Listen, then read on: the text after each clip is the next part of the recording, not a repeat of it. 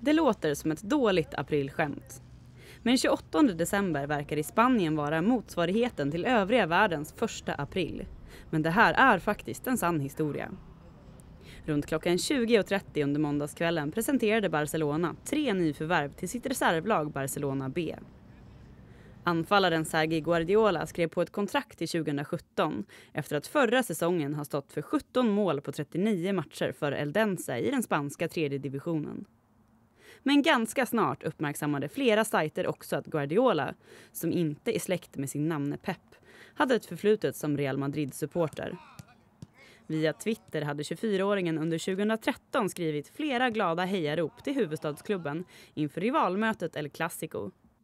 Bland annat hade han skrivit Hala Madrid och Puta Catalunya som båda är mindre populära slagfraser i Barcelona. Nyheten spreds via sociala medier och snart hade den även nått Barcelonas ledning som valde att bryta Guardiolas kontrakt med omedelbar verkan bara två timmar efter att han hade värvats.